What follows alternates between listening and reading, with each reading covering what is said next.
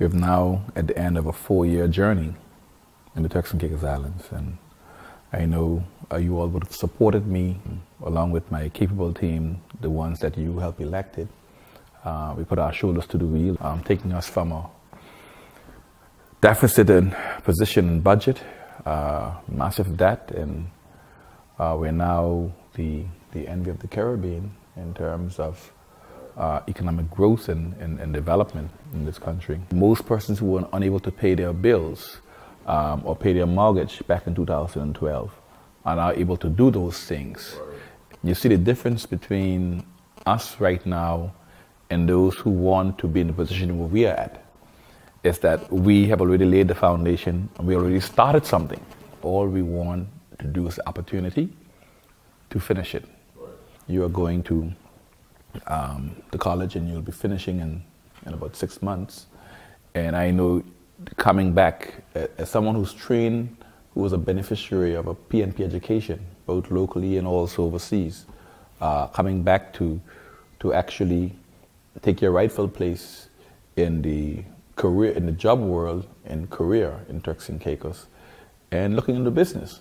Because what we really want our young people to get into is to not only be the employees, we want them to be the employers to own their business.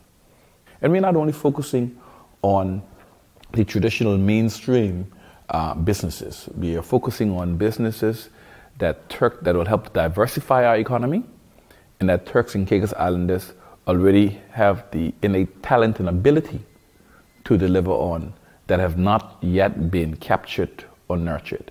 Our micro, small, and medium enterprise program do not allow anyone to downplay it. What we're going to do is to step up our game even more so in the next level, providing even more incentives in programs and access to funding, etc., that will ensure that we have our small businesses um, owned by Turks and Caicos Islanders, that when we talk about being economically independent, we are truly economically independent because the, the wealth that we have here is homegrown and it will stay here. So when, when, when you have a, a global meltdown, the global economy, uh, yes, we may be impacted, but we are less so, we're more, we're more resilient as a country because our wealth is homegrown and home owned. And so that's what we want to do, and that's how we can take it to the next level with respect to the economy. But we have to do so through education, and we'll continue to educate our people. But now that we've already paid off debts and now that we are generating surpluses, we're going to take those money and reinvest it in our people through education by building the various educational institutions, uh, from early childhood education to the creative industries and technical and vocational schools, uh, institutions, um, and expand the curriculum and the degree offering at our community college so that those persons can um, get that education that they need right here in Turks and Caicos Islands. And for those ones who are more academically inclined and have to go overseas, we will put our um, money where our mouths are and spend on them as well. We have recently um, invested so much in education that we have expanded our community college education uh, free of charge to persons up to age 40. Um, you know, and that's that is taking uh, the interests of the people at heart. The first school built in this country in 25 to 30 years uh, was built by this administration. Our big plans we focus, we put forward in our manifesto, the big five to thrive. And, and all we want to do is to highlight some key and critical areas that can make a difference in people's lives and make a difference in this country. Um, our import duties, we, we know needs to be reduced because if we have the opportunity to reduce our import duties, then those persons who are in business uh, will not will not have come up with capital up front uh, to purchase goods before they even make a dollar. And so it, it, it, enhances business development of those individuals. Those individuals who own for their own personal goods, they have more disposable income because the duties are now reduced to 10%. So this 10%, reducing duties to 10%, is a significant accomplishment for us, and we will do so. Um, and this will be facilitated by our plan, and, and not only our plan, that we, what we want to do, what we know that we can do to inject a billion dollars in the economy in the next four years.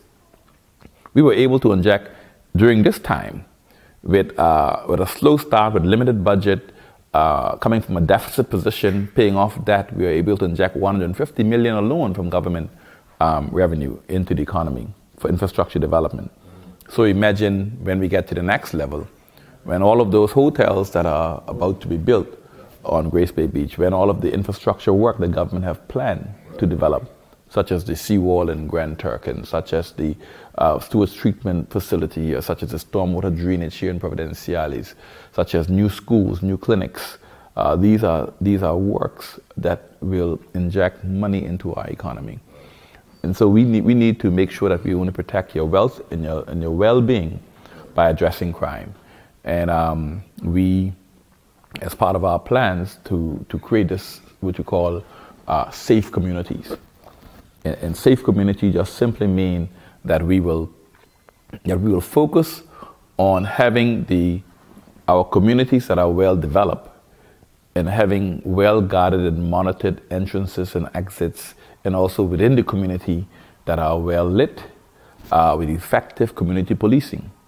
You know, back in the day, uh, we had police officers, even though they were not stationed in the community, they walked through often enough that they knew every person who lived in every house in that community, and the person knew the police officer.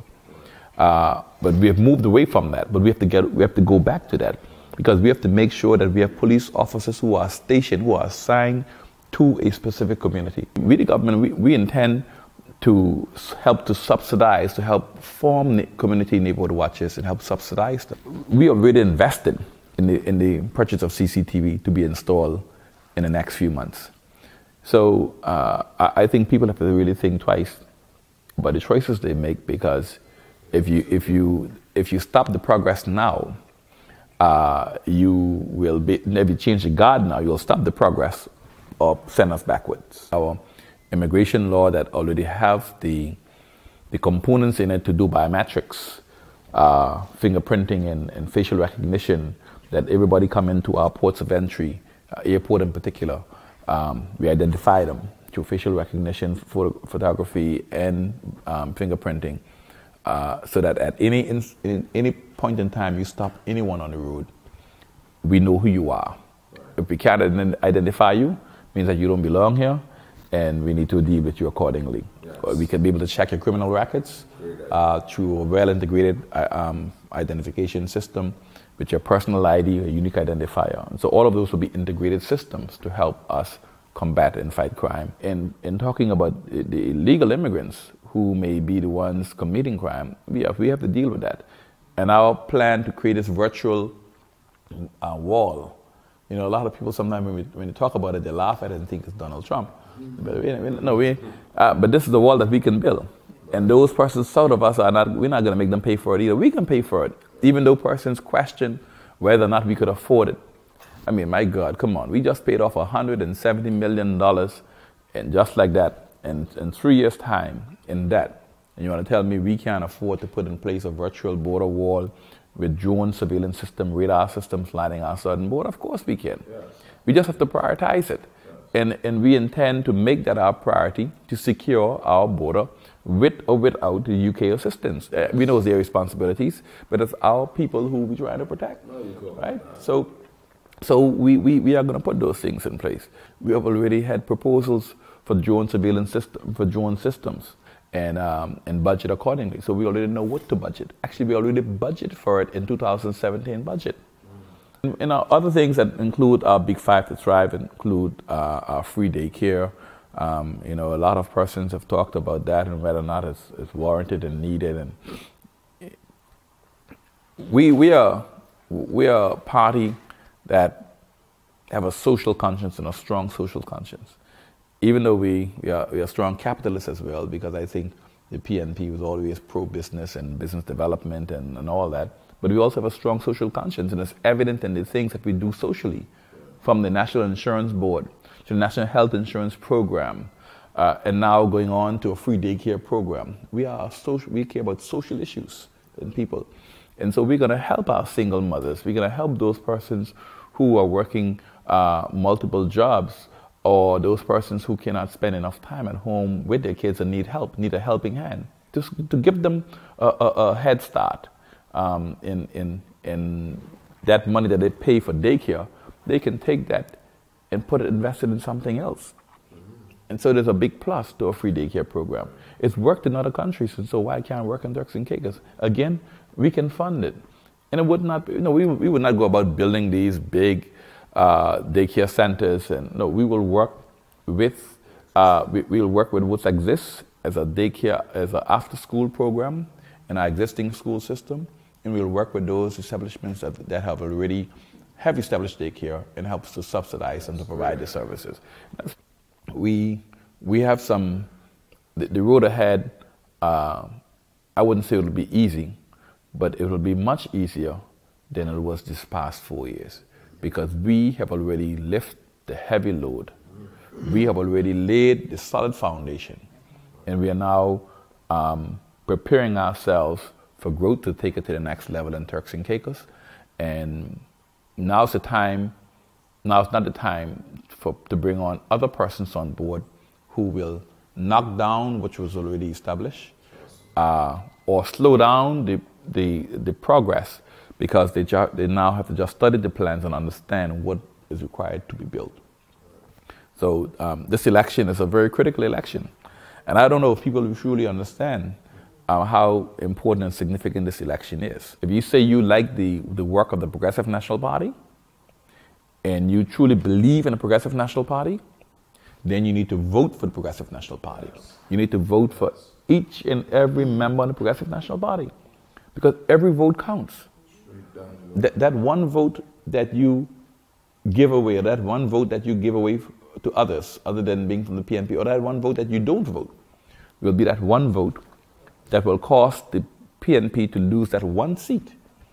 And that one seat cause you to lose the government or to get in a position of bargaining and coalition. And those are never a good situation to be in. And most of you would not have gotten everything that you would have won from the government. No, you would not have. No one would have. Some of you might have been disgruntled and all, right? But you, but you see the value when you put your differences and your personal differences aside and see the value of having a PNP government as opposed to anyone else.